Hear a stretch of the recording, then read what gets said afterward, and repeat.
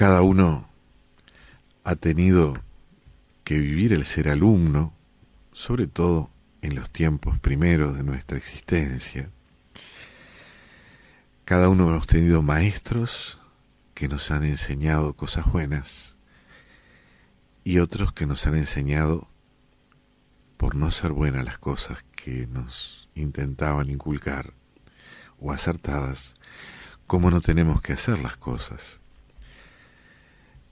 Yo cada mañana creo que vale la pena me levante para volver a reiterar mi deseo de seguir siendo discípulo de Jesús y considero el Evangelio como la mejor manera de encarar y de vivir la vida. Y por eso me parece bueno todo aquello que tiene chispitas de Evangelio.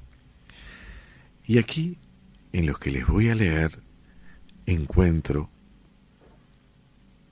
una manera propia del autor de poner el Evangelio para condimentar, para hacer sabrosa nuestra existencia. Hoy no voy a herir a nadie. Si alguien es descortés, si alguien es impaciente, si alguien es poco amable, no voy a responder de la misma manera. Hoy voy a pedir a Dios que bendiga a mis enemigos. Si me encuentro con alguien que me trata áspera o injustamente, en silencio intentaré pedir a Dios que lo bendiga. Entiendo que el enemigo puede ser un miembro de la familia, un vecino, un compañero de trabajo o un extraño. Hoy tendré cuidado con mis palabras. Voy a elegir cuidadosamente mis palabras y tendré cuidado en no ser chismoso ni rudo. Hoy voy a intentar caminar un kilómetro extra buscaré la manera de compartir la carga de otra persona. Hoy perdonaré, perdonaré cualquier ofensa o agravio que venga a mí. Hoy haré realmente algo hermoso para alguien, pero lo voy a hacer secretamente. Me acercaré y bendeciré anónimamente la vida de otros. Hoy trataré a los demás como me gustaría ser tratado. Practicaré la regla de oro, haz a otros los que te gustaría que te hicieran a ti. Hoy levantaré el ánimo de alguien que esté desanimado.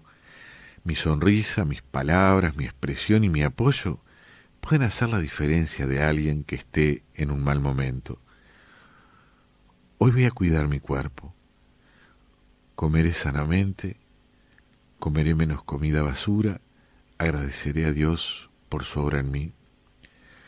Hoy creceré espiritualmente, pasaré más tiempo en oración, comenzaré pensando algo espiritual y leyendo algo que me inspire, buscaré un lugar tranquilo.